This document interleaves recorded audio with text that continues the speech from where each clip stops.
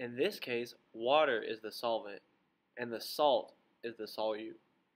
When mixed together, they create a solution.